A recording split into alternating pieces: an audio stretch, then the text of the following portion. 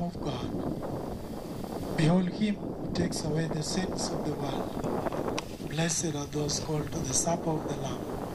Lord, I'm not worthy, but share that Let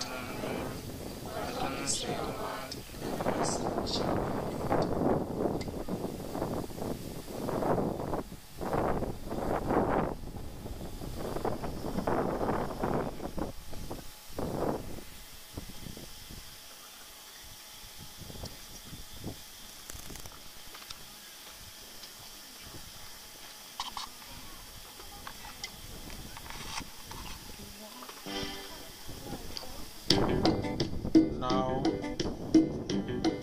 we shall be coming in two lines.